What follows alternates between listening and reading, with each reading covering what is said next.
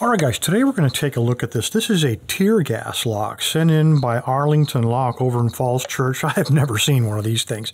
Um, in fact, I tried to do a little bit of research to figure out what to expect, and online I found only one picture of the face of one of these, a very old listing on eBay, and it didn't show the internal mechanism. Anyway, this is a salesman sample, so even rarer. Um, flip this dude over. You can see we got the tear gas warning on both sides. I would imagine that this was on a door that you didn't want anybody to try to, I don't know, jiggle open or try to break through. Uh, I could find nothing on the internal mechanism. I did get a note with this from Arlington Lock saying it does not contain tear gas, but you know, I get all kinds of weird stuff from you guys. So just to be sure, I did pop open. These are the two screws. I did pop open just to make sure that the ampules weren't inside of there. Anyway, it is locked. I do have, see, it's taped on the top here. I do have keys for this. I can feel them through this, but hopefully we don't need no stinking keys. And doubly hopefully, let's hope we don't need a gas mask. Let's try to get this guy picked. Um, I have, if you take a look at the keyway, the nice thing about this, check it, it's our old friend Eagle Lock on both sides, identical, and nice, that one's not even shinier. Anyway, nice keyway on this, uh, a little bit, well, not a little bit, very paracentric. So what I'm going to try to do is take this broken, I'm getting a lot of use out of a broken tensioner, Let's try them, I guess, right there. Try to wedge them in there a little better than that. That ought to work. Um, given the size of this, I'm probably going to use, let's see, let's try one of these guys. Let's try the, this is uh, 12 thousandth, and that one's getting caught. This is a 10 thousandths from Rare Elements. You can see right there it says Rare Elements in their very own made-up language and that one still drags, but he does reach past the warding. So even though it's paracentric, it's like there isn't any warding when you use something this thin. All right, let's try it. All right, maybe not the best tensioner, but it's the best I got. All right, here we go. All the way in, I'm going to apply moderate tension. Just tilt this a little bit so the glare not quite so bad.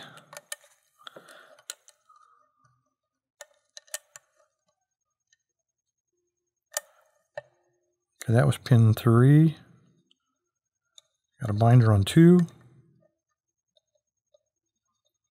And that's just the pick bending. Get in there. I guess that's it.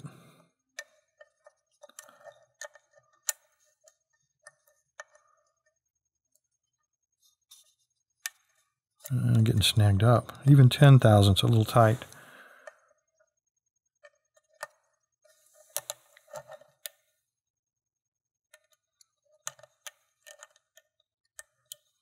I'm not sure if I'm trying to pick warding or the pin. Stock again. Okay, that was pin two. This is like pin one now is binding. Pin one. And I felt a give on the core. That was pin five. Felt a very slight turn. Oh, felt it open. Here we go. Come out. Come out. All right, fingers crossed. No, I know there's no, I did check, so I'm just joking. There's nothing inside of here. Hopefully this works. There we go. It does work. I got chose the right direction. All right, so there you go. The tear gas lock. Um, I guess it's made by Eagle. I really don't know. Let's go ahead and pop it open. I'm going to show you the mechanism. You notice I was careful to, to not say I'm going to show you how the mechanism works because I think you're probably going to be able to figure it out pretty quickly by yourself. There is one more screw in this. Let me remove this one and I'll show it to you before I pop the cover off. On the very top of this, there's a screw that holds the cylinder in. But again, this is a salesman sample. You wouldn't be able to see that if this were installed on a door. All right, so came off. On the back side, we just have the lock cylinder and nothing connecting the lock cylinder to the actuator. So the, the actuator here turns and, and I'll, um, well, here's the actuator from the other side. So I'll take a screwdriver and the actuator comes down and pushes stuff over like that. Now you notice when I shoved it over, This is where the glass ampules sat that contain the tear gas right here. Now, of course, they've been removed in a salesman sample. And here is the hammer that's designed to, when released, you can see it's got a very powerful spring here. It'll swing down and slam into them. Notice there's really nothing connecting the actuator. This post solidly holds that hammer in place and you can't even lift this up away from that post. You can't disengage it. The only way to disengage that post from this hammer is to break the housing of the lock. So if you're going to attack the lock, you know, attack the box uh, either from the inside or attack from the outside with a hammer, you're going to probably break the housing and that would dislodge it and that would allow the hammer to swing down and hit. Likewise, if you have a you know, very brutal attack, I would imagine just the shock of slamming into this would probably break those glass ampules. But that's the only way I can figure that those ampules might ever get triggered. So I guess what I'm trying to say is this was probably, while not 100% psychological warfare, it was like 90% psychological warfare. Yes, it contained tear gas, but only if you use extraordinary force to slam into this to cause those glass ampules to break.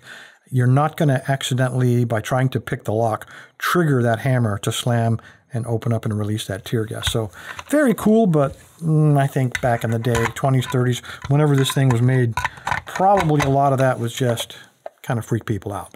Anyway, guys, appreciate your time. Stay safe, stay legal. Ah, the giveaway. All right, I'm not giving this away, but what I will do, let me move that guy off to the side.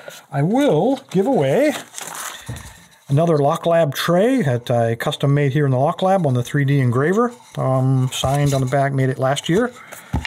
I will give away a lock, Learn Lockpicking Kit by Lab that uh, they donated for the giveaway. And last but not least, see which one this is because they sent me two or three.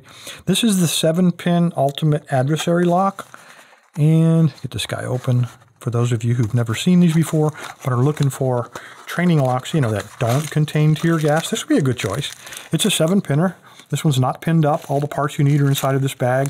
It's a paracentric keyway, so you can go uh, start out progressively by pinning, say, two of these, and as your skills improve, pin them progressively more and more with more and more complex pins.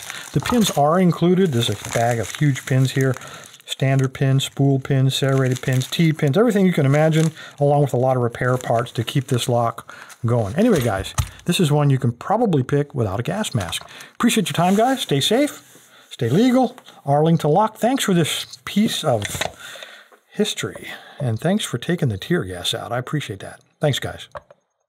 All you need to do is navigate to locklab.com, the tribal website, and scroll down in the middle of the page. You'll see all the giveaway buttons Monday, Wednesday, and Friday. But the one you're looking for is the weekend review giveaway, purple band. Just click on it.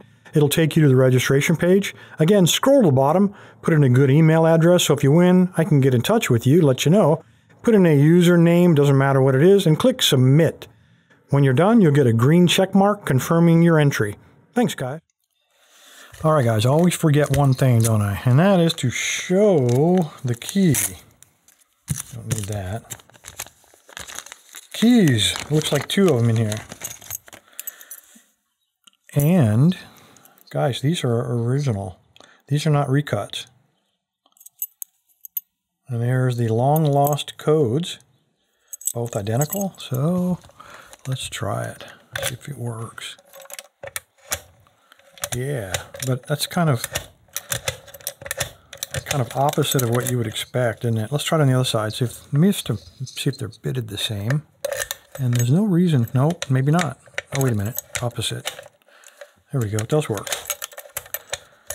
Anyway, very cool and kind of neat to get the original keys that came with this dealer sample. Anyway, guys, appreciate your time. Stay safe, stay legal. Arlington Lock, thanks again for this, well, piece of weirdness. Thanks, guys.